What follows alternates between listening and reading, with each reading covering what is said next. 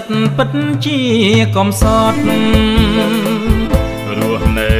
ក្នុងវត្តជាមួយព្រះសង្ឃទៅណាមកណាខ្ញុំជីងតែកង់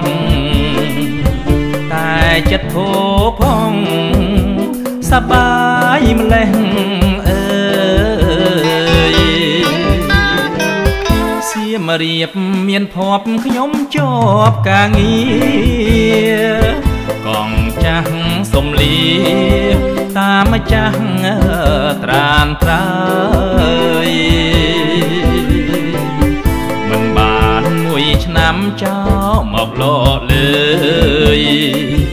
លោមលួចយកដោយ ទាំងរឿងស្នេហ៍ខ្ញុំ ព្រះអង្គជេជមដែលមានចេស្តាតែងថ្វាយផលឡាបផាក្រពុំមែមេត្តាបង្ហាញកងទូលបង្គំ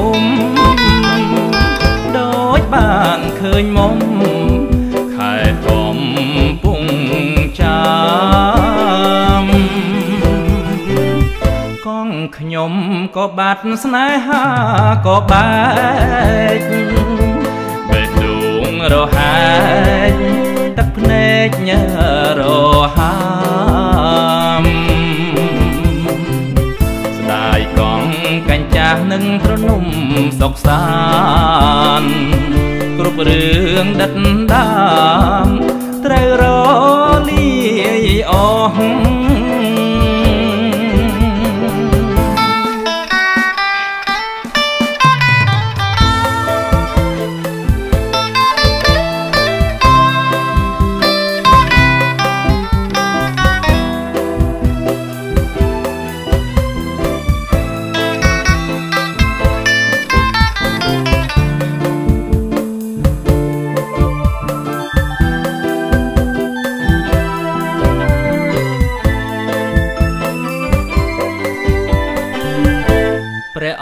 ជេជមដែលមានចេស្តាតែងថ្វាយផងឡាបោផាក្រពុំមេត្តាបង្ហាញកងទូលបង្គំដូចបានឃើញមុំខេត្តកំ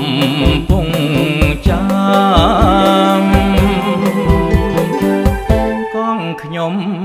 ត់ស្នេហាក៏បែកបេះដូងរហែកទឹកភ្នែកញើរហាមស្ដាយកងកាញ់ចាស់នឹងត្រនំសុកសានគ្រប់រឿងដិតដា